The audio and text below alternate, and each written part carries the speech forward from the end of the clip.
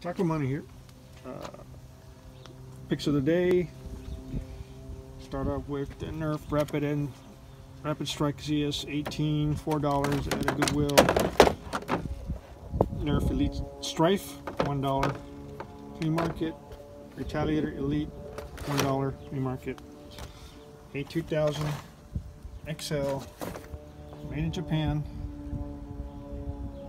I get that Japan in there. Right there. It's pretty good shape.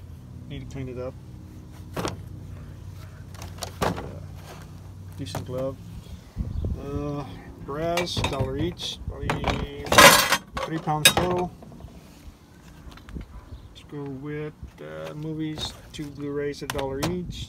Got this. Two belt buckles. Gist. First Goal Barrel Racer.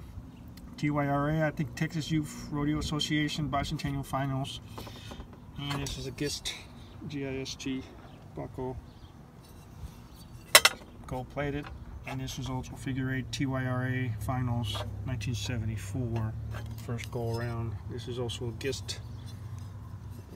Brass, but this is gold overlaid over sterling. It's probably got a real thin layer of sterling. $15 each, 25 for actually for both bunch of uh, scrap silver gold, uh, probably about good 60, 70 grams of sterling.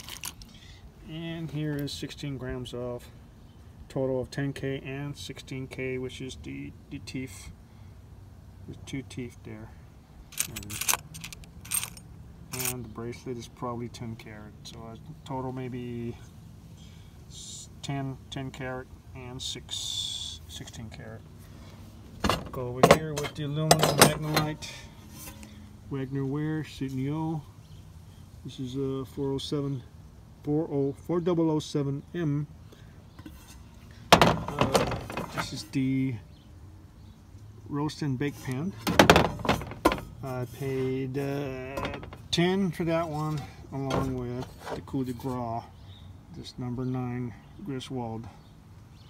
No letter, big U awesome. That means it's the first line. It's really light compared to most nines. Also picked up this number seven. I believe this is a number seven. Also, no letter. Short logo, the small logo. This one was four dollars. What else? Oh, the Muncie Wear, Muncie Wear yellow yellow tag was half off, so it was actually 150. Very nice little muscle. You're good here. Taco Money, subscribe and like. Finds of the day, Texas Picks.